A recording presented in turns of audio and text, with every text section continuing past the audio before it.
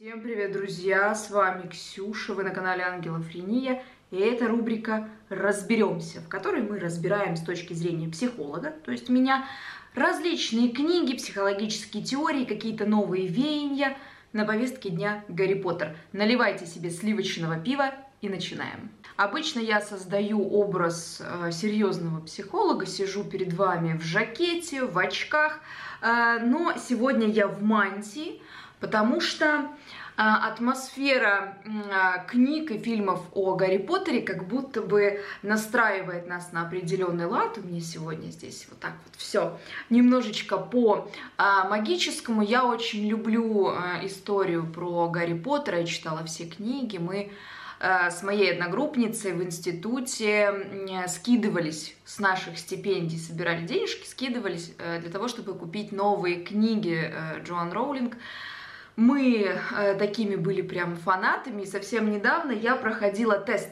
на знание вселенной Гарри Поттера. Думаю, сейчас я вас вот так вот делаю за секунду.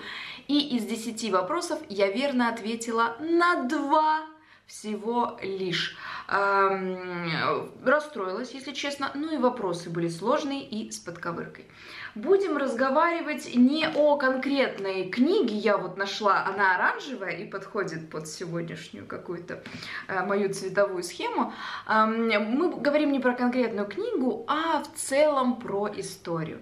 Если вы никогда не смотрели фильмы о Гарри Поттере, я очень советую вам посмотреть, начиная с первого, очень детского, очень наивного фильма, заканчивая последними мрачными, такими уже какими-то полунуарными фильмами. Это такие уже серьезные картины, э, аллюзии там, да, Третий Рейх и так далее. Это вы сами все увидите, я думаю, здесь не надо пояснять.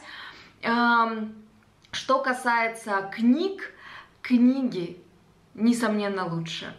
А, фильмы сняты хорошо. Давайте по-честному. Хорошие фильмы, вне зависимости от режиссера, но книги лучше. Я уважаю Джоан Роулинг, я искренне к ней отношусь с большой теплотой, потому что она смогла создать целую вселенную, которая вызывает у нас с вами доверие. А почему? Потому что очень много жизненных человеческих деталей. То, что близко каждому из нас – даже когда вы хотите соврать человеку, одно дело сказать, я э, болела вчера, поэтому не пришла. Это вот одна история. А если вы хотите действительно ввести в человека в заблуждение, вы говорите, слушай, лежу вчера, главное, потею и температура высоченная, на кухню надо пойти чая налить, а у меня сил прям нету. Еще сосед у меня, представляешь, за стенкой там сверлит. То есть вы в свою ложь добавляете большое количество деталей, и за счет этого ложь выглядит правдоподобнее. Но важно не переборщить. Вот вы узнали что-то полезное из этого видео. А, в книгах Джоан Роулинг очень много деталей, которые в вашем воображении создают целостную картинку. А, конечно, есть э, небольшие промахи, мы не будем вот эти ляпы обсуждать, ну не будем, не имеет смысла. Мы будем говорить с вами о персонажах, об их, ну, не буду говорить прям психологических портретах, но, скажем так, что ими двигало, какие у них были мотивации и откуда, собственно, что взялось. Э, так ли плох Волан-де-Морт? Э, так ли он виноват в своем э, вот этом поведении и ненависти ко всему живому, да? Э, так ли прекрасен Гарри Поттер, например? Долорес Амбридж, что с ней не так? Короче, давайте обсуждать. Предлагаю нам с вами договориться на берегу о том, что э, будем относиться ко всей этой истории, как будто она происходила, как будто она реальна, потому что любой мой аргумент может разбиться о ваш контраргумент. Ксюша, это вымышленная история. Ксюш, чего ты хочешь? Это же придуманный э, человек на бумаге, его не существует, это персонаж. А, как говорил Луиджи Пирантелло, порой персонажи гораздо более жизненные и настоящие, чем живые люди, потому что персонаж в любом случае является кем-то, а реальный человек может быть никем. Подумайте об этом. Не будем идти по сюжету, иначе это видео затянется на много-много часов. Эм, сразу можно сказать, что жизнь Гарри Поттера до, э, не помню, 11 там, или 12 лет, что-то такое, была крайне негативно окрашена. Волею судеб, а точнее волею там, Альбуса Дамблдора и, э, собственно, профессора МакГонагал Минервы, э, Гарри оказывается в доме своего дяди и тети. Точнее, э, тетя Петуния, родная сестра Лили, матери Гарри Поттера, приютила э, сиротку Гарри. Дело в том, что родители Гарри Поттера погибли в неравном бою с э, жутким волшебником э, Волан-де-Мортом. Волан-де-Морт э, во всей этой истории это как бы синоним абсолютного зла. Он обесчеловечен, у него э, лицо, внешность его не похожа на человека. Ну, то есть в целом он похож на человека, да, руки, ноги, но при этом он не вызывает у нас... Э, никакого сострадания, кроме там одного единственного момента, и то спорный э, тоже у кого как. У меня, допустим, вызвал сострадание, у э, большинства моих знакомых совершенно нет. Это абсолютное зло, которому противопоставлено абсолютное добро в виде родителей Гарри Поттера. И мы, в принципе, про родителей будем знать только хорошие и, э, собственно, не зря. Итак, после того, как родители пали в бою, эм, Гарри выжил, собственно, отсюда получил свое имя, да, мальчик, который выжил, и оказался в семье Петунии и Вернона, и их сыночка Дадли. Дадли, э, Дадличек, да, как в фильмах его называли, э, Дадличек, он э, ровесник Гарри Поттера, но он значительно крупнее, то есть его лучше кормят, у него избыточная масса тела, он вообще максимально должен быть вам неприятен и его демонстрируют таковым. Он злой, грубый, капризный, противный ребенок. Но давайте подумаем, насколько Дадли виноват в том, что он такой. Он абсолютный ребенок своих родителей, они его избаловали. Они виноваты в том, что у ребенка вообще нет никаких границ. Когда мы говорим про границы для ребенка, мы предполагаем, что это что-то ограничивающее, да, то есть это что-то вот мы свободу воли ограничиваем. Нет, граница, какой-то забор, демаркационная линия, она нужна потому что забор это то, на что можно опереться в случае чего. Границы нужны не только для того, чтобы вашего чудесного, свободолюбивого ребенка зажать в тиски, но и для того, чтобы он немножечко понимал, как этот мир устроен. Ребенок не живет вне социума, он внутри социума в любом случае. И если вы хотите, чтобы жизнь ребенка была комфортной, удобной и вообще перспективы были максимально прекрасными, он должен знать правила которые заведены в этом обществе, да, э, что является допустимым, приемлемым, а что нет.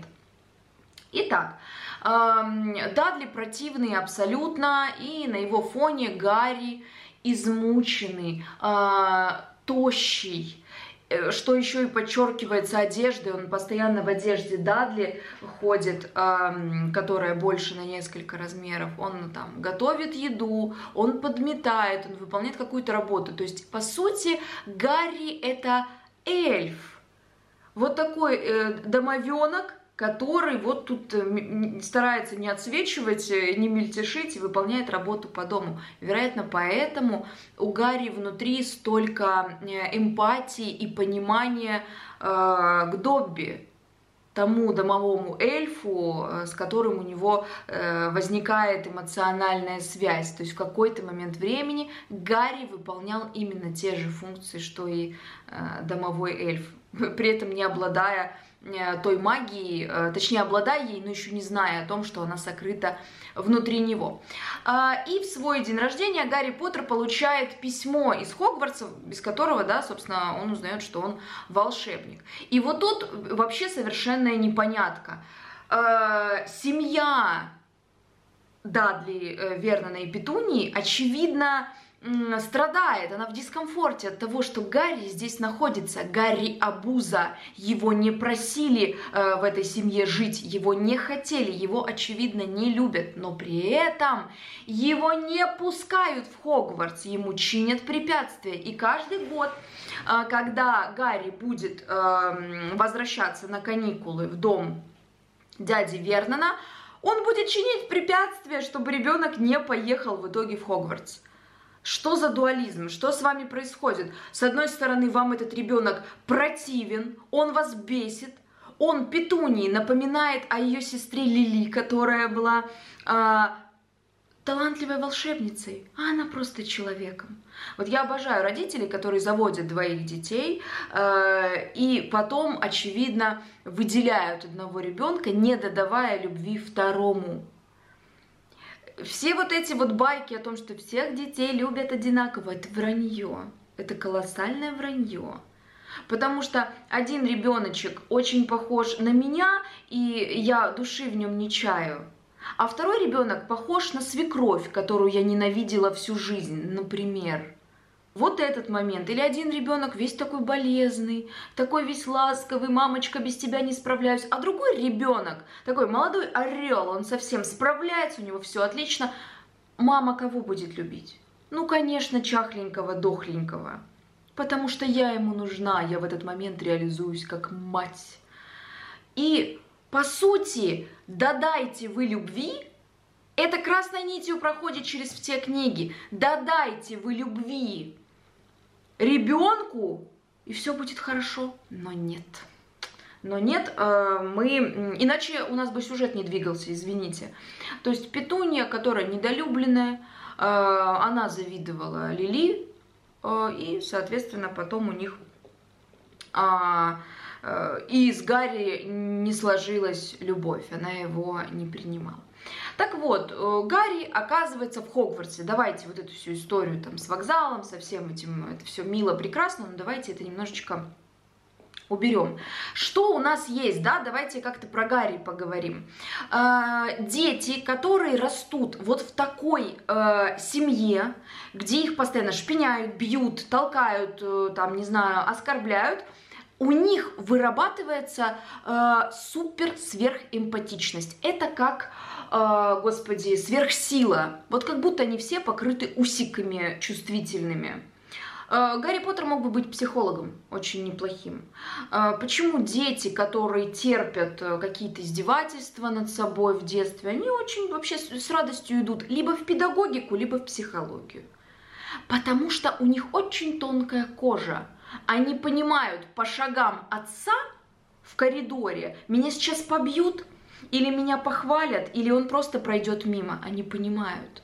Они понимают потому, как отец пульт на тумбочку положил, отец что идет? Ругаться. Или отец идет на кухню выпить, или что. То есть у них настолько э, умение чувствовать других людей развивается, что, собственно, с Гарри произошло. И когда мы говорим «мальчик, который выжил», мы имеем в виду не ту борьбу с э, Волан-де-Мортом.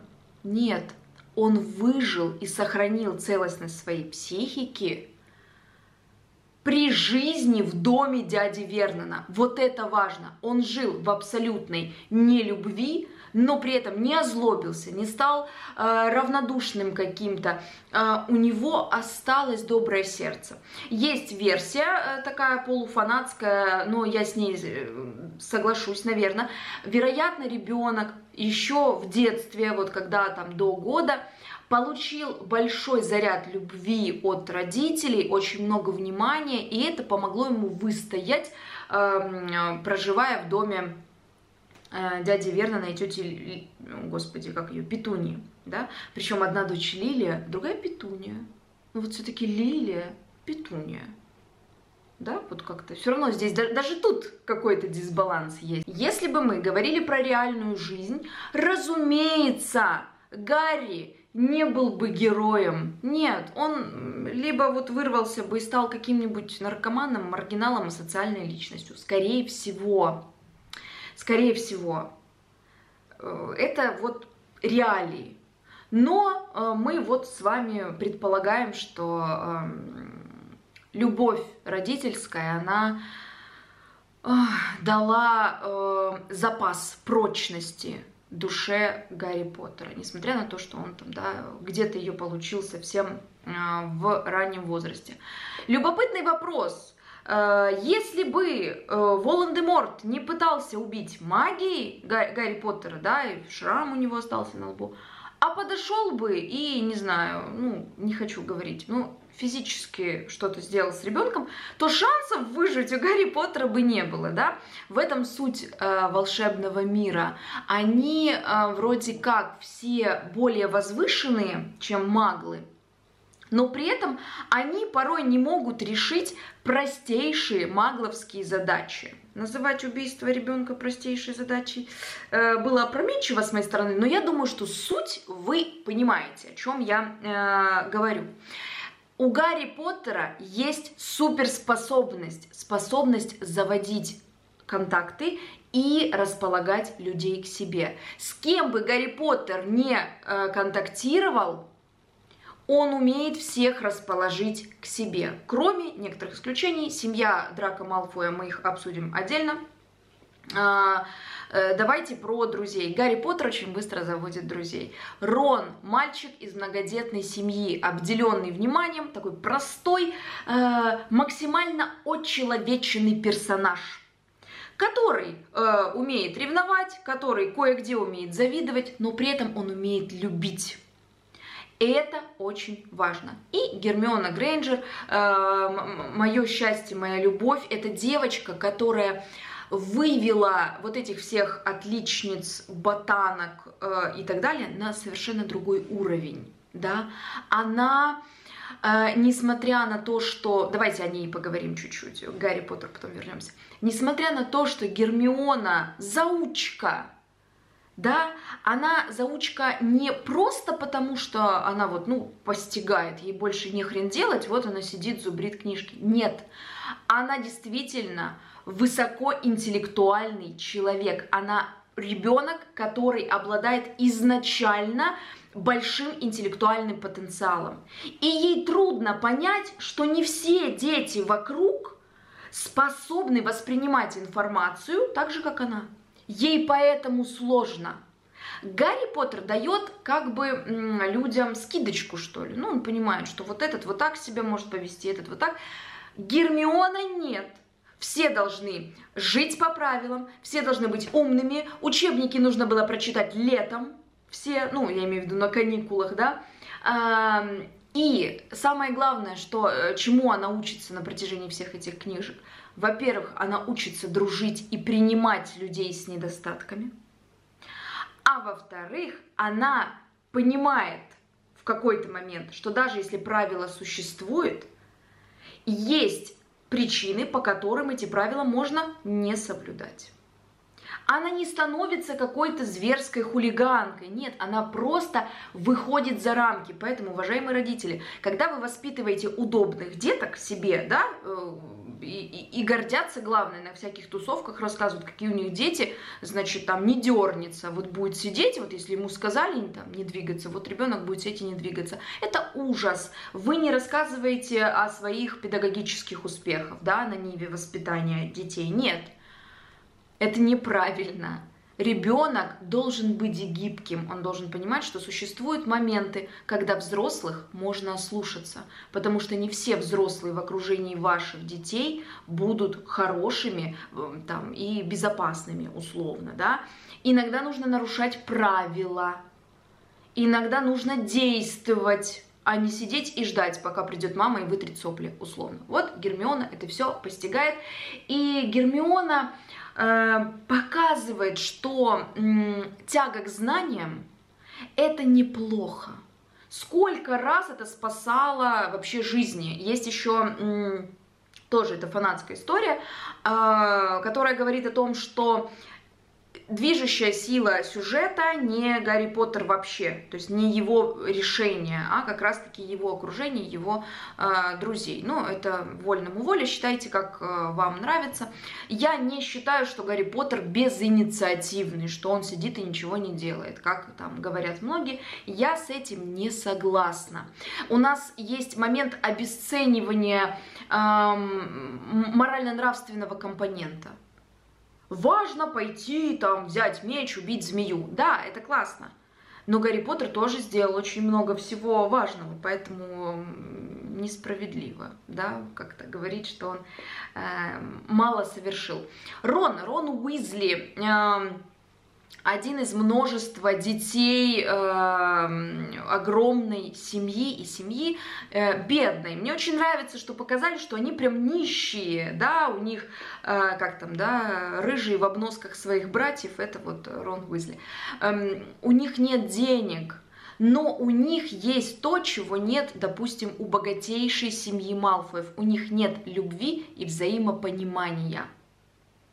И семьи э, Уизли и Малфоев, они как бы противопоставляются на протяжении всех книг. Обратите внимание, какие отношения в семье Уизли, какие отношения в семье Малфоев. Уизли любят в любом случае вот всех членов семьи, даже если им кому-то не хватает внимания, очевидно, не хватает, потому что мама Молли разорваться просто не в состоянии. А, любой из детей знает, что он может рассчитывать на поддержку семьи. Это супер важно. При этом семья Малфоев, да, с которыми мы знакомимся тоже в самом начале книг, это семья высокородных волшебников. И тут мы узнаем, что, оказывается, волшебники в этом магическом мире не все одинаковые. Есть волшебники это, кастой повыше, это чистокровные волшебники, а есть маглорожденные, да, где в семье, там, допустим, где-то наследили маглы. И это считается, ну, сортом так пониже. И э, очень важно в семье э, Люциуса Малфоя, отца Драка, соблюдать вот эти правила. Они носят э, какую-то одежду такую одинаковую, черную, строгую. То есть главное это стилек, главное это соответствовать ожиданиям своей семьи. Драко любит отец только тогда, когда он э, отвечает его ожиданиям. Нет безусловной родительской любви в семье Малфоев. Э, от матери есть, но мать очень мало значит. Она там волю проявляет в последней книге, эм, чем, собственно, спасать семью. Да? Но э, при этом она такая немножечко безвольная. Семья Малфоев поддерживает пожирателей смерти. То есть они поддерживают Волан-де-Морта. И это мой колоссальный вопрос. Why? Дело в том, что Волан-де-Морт – он тоже маглорожденный. Мать Волан-де-Морта, она волшебница. Но отец его магл. И мать полюбила этого магла, человечешку, и его околдовала любовным зельем, завела с ним ребенка, и в какой-то момент там зелье перестало действовать, э, не помню, если честно, всю эту точную историю, и он ушел из семьи да, как, собственно, и случилось. И, и мать отказалась от Волан-де-Морта, как он оказался в детском доме в итоге. И э, любопытный момент. Люциус Малфой терпеть не может грязнокровок. Но при этом он поддерживает Волан-де-Морта, который тоже грязнокровка. Он ровно на 50% магл. Почему? Мне непонятно. Почему ты отказался от своих э, взглядов? Или не настолько твои взгляды были прочные? Э, вот это для меня до сих пор загадка. То ли это вот какой-то ляп, да, э, прописанный, э, ну, плохо прописанный, да, или это какой-то ляп, да, не обратила, может быть, внимания сама Джон Роулинг. Просто почему? Когда Гарри оказывается в школе, он узнает много других ребят, э, он такой добродушный, доброжелательный, он ко всем относится хорошо, и появляется важная персона в его жизни, Альбус Дамблдор. Вроде как Гарри с ним знакомится только что, но по сути Альбус это тот человек, который эм, принес э, Гарри Поттера, да, положил под дверь э, тети Петунии в свое время. Альбус э, персонаж очень странный. На мой взгляд, э, нам пытались продемонстрировать якобы поддержку э, Альбуса, да, там столько-то очков Гриффиндору, то есть он там их раздавал налево-направо. При этом Альбус подставлял ребят под жут... жуткие опасности какие-то. Он никогда не говорил прямо, что он от них хочет. Он говорил загадками, чтобы дети там все это разгадывали. С одной стороны, можно сказать, Ксюш, так он их воспитывал так, чтобы они становились самостоятельными. Он понимал, что у них впереди э, борьба с Волан-де-Мортом, он это все, вот, да, прогностический у него склад ума, он все это предполагал, поэтому их нужно было воспитывать э, самостоятельными и так далее. Но по мне это все выглядит как хрень собачья. Он просто э, тоже вот у него есть определенная эмоциональная депривация, он не способен на ретрансляцию чувств, он живет в постоянном чувстве вины. Альбус Дамблдор, э, умерла его сестра, да, вы знаете, при этом со вторым своим братом он не наладил контакта, его не было. Э, и он ушел в педагогику, как все, да, травмированные в свое время люди, да, либо психология, либо педагогика. И вот он, значит, э, управляет школой. Управляет ей хреново, если говорить про его профпригодность, она под большим вопросом. Кого он нанимает в качестве учителей? Вы вспомните, Защита от темных искусств это вообще проклятая дисциплина у них там. Кто ее преподает каждый год, какая-то лажа. Э, этот Златопуст, да, по-моему, Локонс, который совершенно непригоден. Римус Люпин, э, да, самый более-менее приличный педагог, э, но оборотень.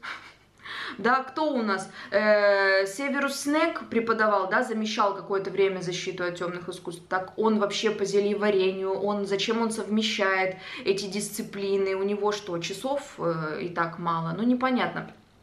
А, потом была Долорес Амбридж, это, конечно, э, не от, э, господи, Альбуса Дамблдора зависело, но, тем не менее, то есть место, очевидно, проклято, там никто его преподавать... А, а в первой части у нас был этот, господи, с тюрбаном, я забыла, как его зовут ну все, вылетело. То есть э, он нанимает странных преподавателей. А преподаватель по прорицанию тоже какая-то барышня э, сомнительная. И вот так постоянно.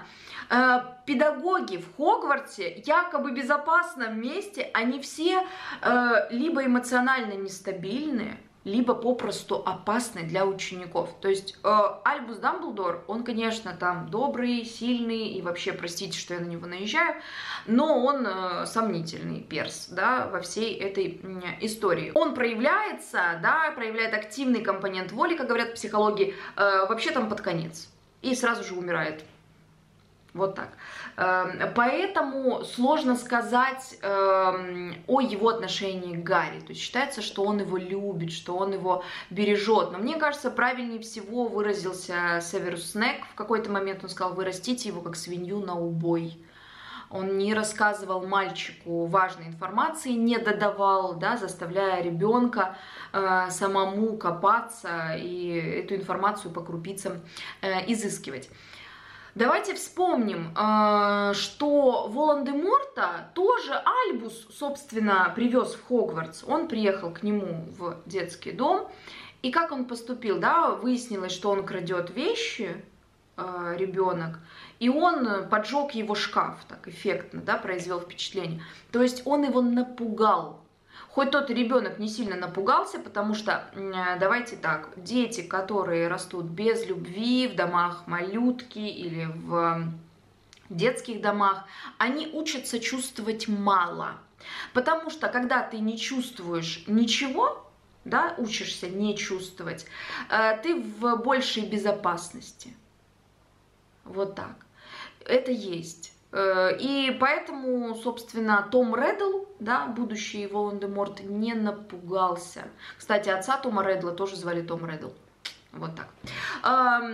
Что происходит э, дальше? То есть Альбус привозит ребенка вот этого из детдома несчастного, и что? Он его окружает заботой, каким-то особенным вниманием? Нет. И ребенок сам учится жить, он хитростью вы, выведывает какую-то информацию, он там с учениками другими шохворок, то есть он такой, э, как вам сказать, вот хитрюга такой. Но это его способ выживания. Ему не дали любви. Его что, научили люб любить? Ему показали, как это? Нет. Нет.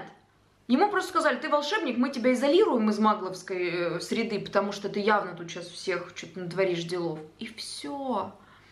То есть э, Когда Поттер попадает э, в Хогвартс, тоже раненая душа, да, они же зеркальные, по сути, тоже раненая душа.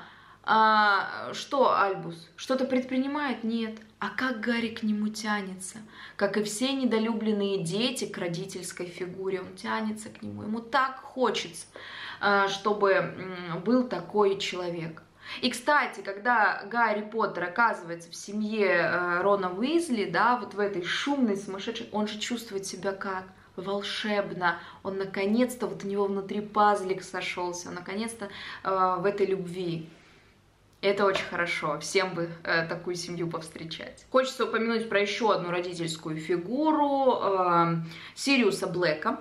Это э, крестный отец и лучший друг отца Гарри Поттера. Он э, там, вскоре после рождения Гарри попадает в Аскабан, это тюрьма для волшебников, которая ломает э, психику. Она не предполагает исправления волшебников.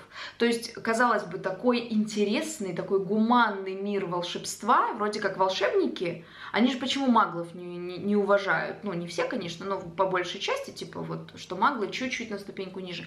Потому что мы э, по морально-нравственному критерию не проходим. Но при этом у них нет э, исправления в тюрьме, да, у них просто это такое место э, заключения, где дементоры, на, вот на коих я сегодня похожа в этом плаще, э, дементоры просто, да, высасывают жизнь э, и все.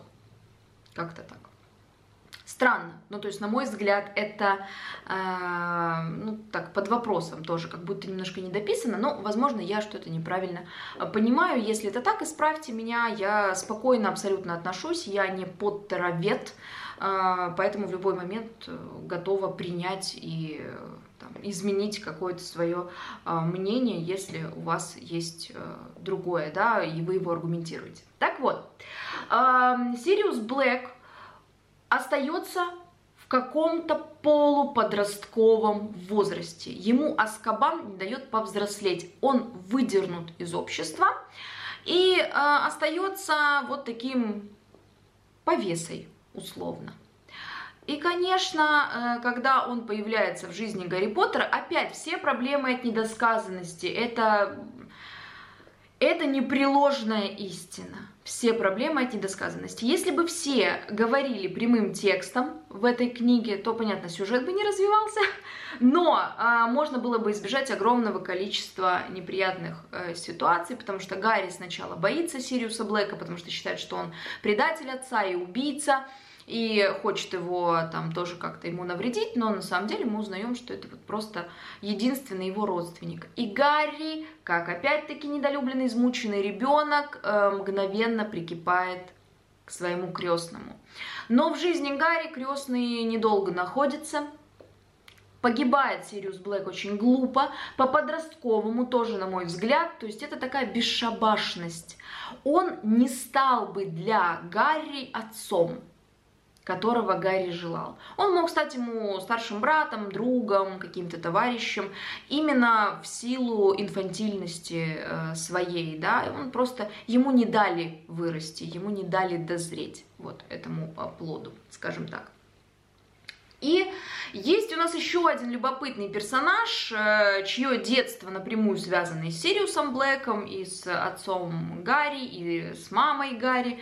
Это Северус Снег, который преподаватель в Хогвартсе. Он преподает зельеварение, весь такой мрачный, э, страшный и, на мой взгляд, самый многогранный, самый великолепный персонаж из всей этой истории. Я его обожаю всей душой. Почему? Значит, мы видим э, достаточно жестокого, злого преподавателя, который там третирует детей. Но ну, мы знаем, что в Хогвартсе это норма, да, превратить ребенка в хорька можно, там, не знаю, напугать детей до полусмерти можно, потащить их э, в запретный лес можно, у нас все можно. И э, Северус Снег тоже такой достаточно жесткий. И к Гарри Поттеру у него двойственное отношение. С одной стороны, он ненавидит Гарри Поттера, ту часть Гарри Поттера, которая отцовская, потому что отец Гарри Поттера э, Джеймс, он дразнил и обижал э, в детстве Северуса. С другой стороны, Гарри Поттер это 50% Лили Поттер. Это его любимая девочка, на которой, соответственно, Джеймс потом женился. То есть глаза Гарри напоминают ему глаза любимой. И вот эта фраза Альбус спрашивает после стольких лет, в смысле, что ты любишь ее, да, после стольких лет, и он говорит, всегда.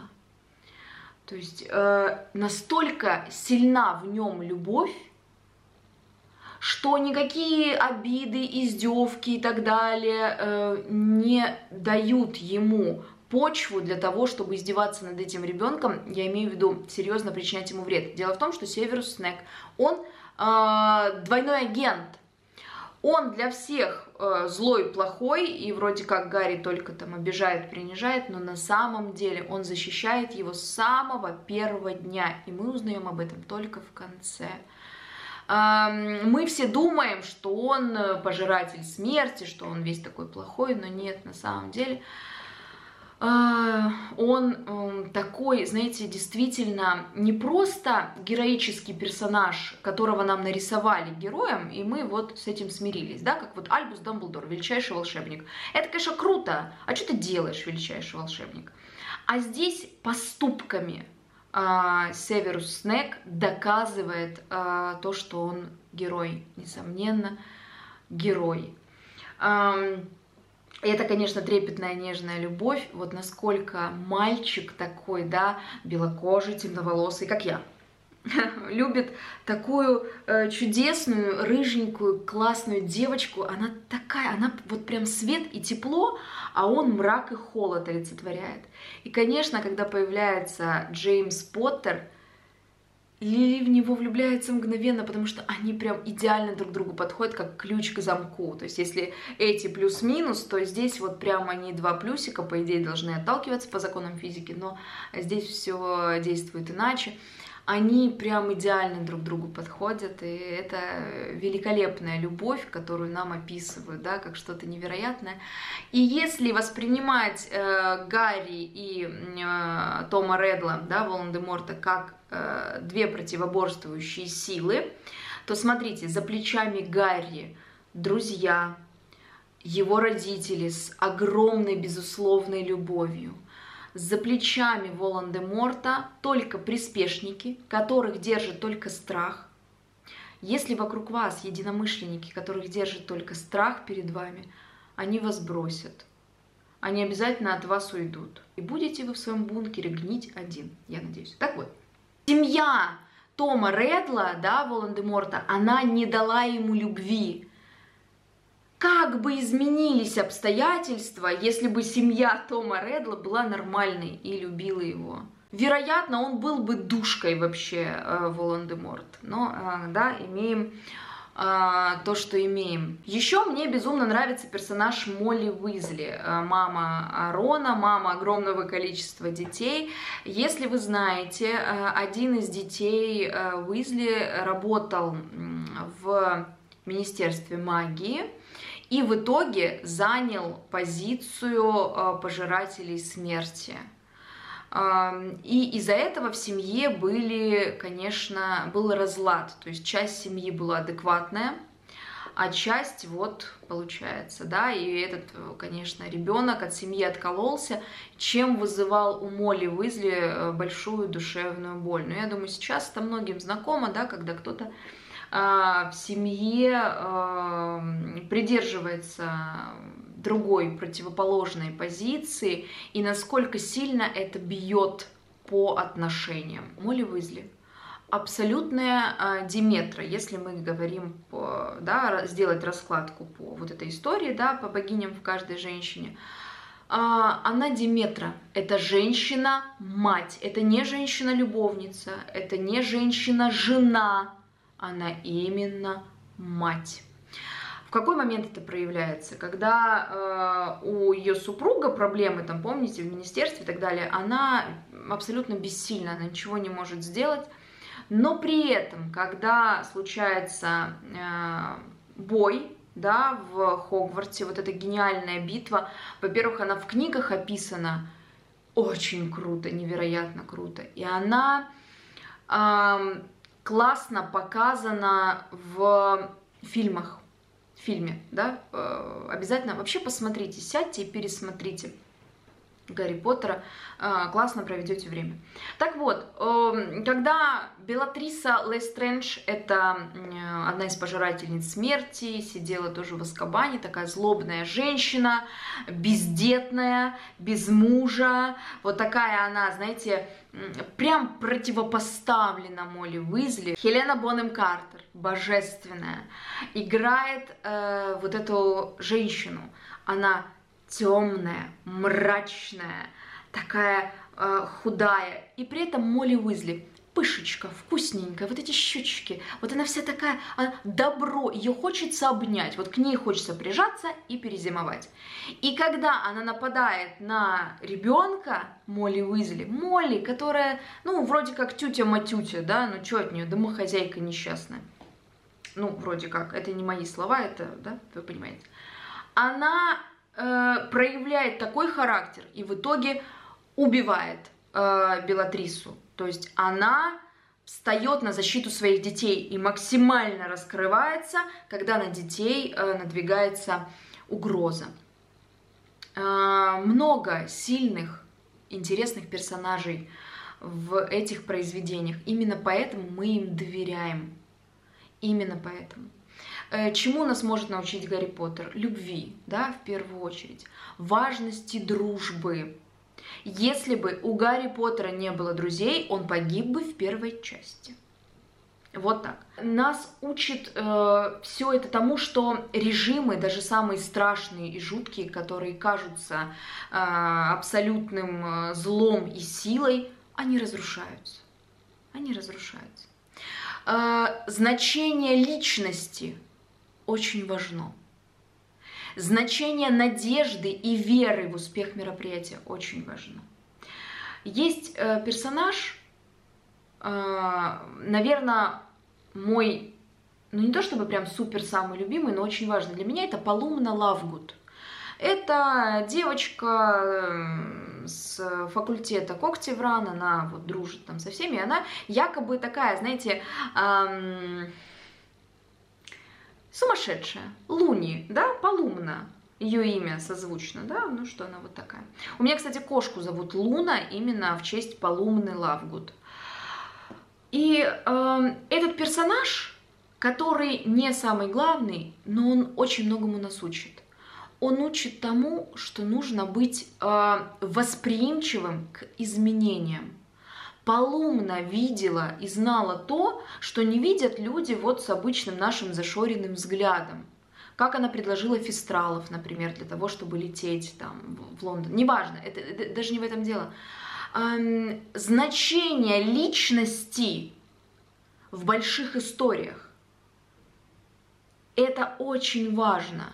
Каждый из нас для другого человека может оказаться важной личностью, как, например, профессор МакГонагал которая дарит э, Гарри Поттеру метлу. И если вы думаете, что это первая метла в жизни Гарри Поттера, вы ошибаетесь. И вот тот тест про Гарри Поттера вы бы тоже плохо написали, как и я, потому что первую метлу Гарри Поттеру подарил Сириус Блэк, его крестный, когда Гарри Поттеру еще было совсем мало лет.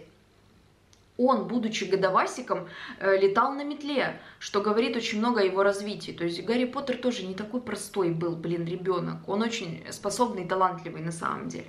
И если бы не семейство дяди, э, где его способности и таланты просто вот, да, максимально создавали им дискомфортную среду для развития и роста, то он был бы каким-то просто супер крутым. Серьезно, он вообще бы выстрелил однозначно. Но, в принципе, и так у него все, да, неплохо сложилось. К чему я это все? Минерва МакГонагал очень часто давала Гарри Поттеру важные советы. Она говорила ему ободряющие слова. Они не всегда были ласковыми, потому что Минерва, ввиду своих особенностей, она не способна была на какую-то ласку, как, например, Молли Уизли, из которой любовь просто э, фонтанирует. Но она находила для Гарри слова. И, это важно, каждый из нас может стать важным человеком, значимым человеком в жизни других людей. Нам кажется, что это не так. Нам кажется, ну что мы там с коллегой на работе там пересеклись и все. На самом деле вы одной фразой, одним каким-то микрожестом, каким-то поступком можете изменить настроение человека и э, сделать его жизнь легче и приятней. Поэтому профессия психолога, э, она, э, с одной стороны, понятно, что там важное, нужное, это все, но она очень ответственная. Потому что от слов э, человека, которому доверяет клиент, очень много зависит. И нужно все 10 раз взвешивать. Но в целом, если действовать через любовь, а не через насилие, не через злость, через какую-то агрессию, то вероятнее всего вы сделаете жизнь другого человека легче. Вы запустите цепочку добра, которая будет вот распространяться и распространяться. И все произведения про Гарри Поттера, они не про магию, они про человеческое отношение, про силу человеческого духа, про значение личности, про важность любви.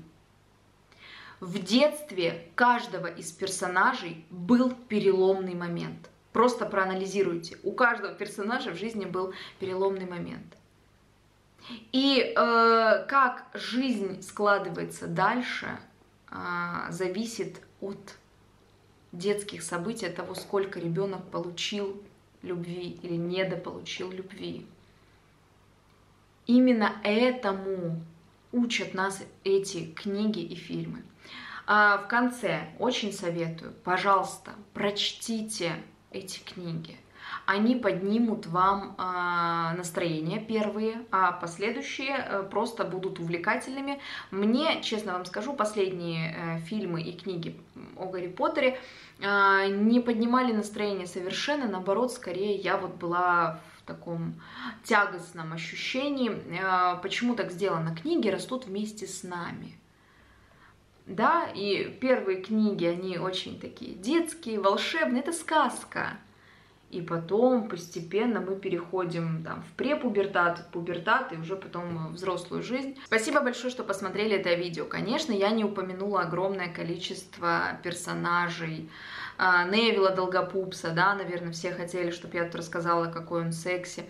Но он правда секси. На самом деле, э, вот, кстати, Невилл Долгопупс, это тот э, типаж парней, которые вот мне нравились всегда, хороший, добрый, без камня за пазухой. Э, кому-то кажется, вот, допустим, Драку Малфой кажется супер секси. А вот мне такие мужчины вообще ну, не вызывают никакого интереса. То есть холодные, надменные, такие нарциссичные. Абсолютно нет. Вот мне, мне нравятся добряки по типу а, Невилла. Да? Персонажей много очень классных. Преподаватели каждый год э, один интереснее другого, но тогда это видео просто бы не закончилось никогда.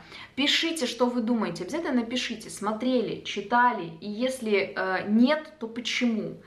Э, один мой знакомый говорит, что а какой смысл, типа, я не вижу, я вот посмотрел первую часть, детский сад, я не хочу дальше это смотреть. И э, мне кажется, что эту позицию можно тоже понять. Ну, действительно, если сейчас смотреть первую часть Гарри Поттера, она кажется, ну, такой э, нелепой, с этим хвостиком поросячьим у Дадли, который там Хагрид ему наколдовал. А, я думаю, вы знаете, что актер, игравший Хагрида, совсем недавно почил. А, очень талантливый актер, и роль ему удалась на все сто процентов. К Хагриду у меня тоже, конечно, как к персонажу много вопросов, но это большой друг, который э, тоже нужен был Гарри Поттеру. При том, что этот друг совершенно безалаберный, да, начиная там от э, паука, которого он завел, да, там, заканчивая а, господи, скажите мне, я вам скажу, а, походами в этот да, запретный лес и совершенным неумением вести э, уроки, потому что, как бы то ни было, понятно, что Драко Малфой сам виноват, что Клювокрыл на него напал, да, гипогриф, но, тем не менее, э, ответственность за учеников на занятии несет педагог. Вот, это важно. Да. А, если у вас есть любимые персонажи Гарри Поттера, напишите, пожалуйста, внизу какие. Кто прям у вас в душе откликается? Может быть, кто-то для вас является ролевой моделью. Ну, такое тоже может быть. А, спасибо большое, что посмотрели. Я не умею зафиналивать видео, вы это знаете. Пожалуйста, помните, что каждый из нас сам творец своей жизни, каждый из нас в своей собственной жизни абсолютный волшебник. Я очень сильно вас всех люблю. Спасибо, что были со мной. И пока.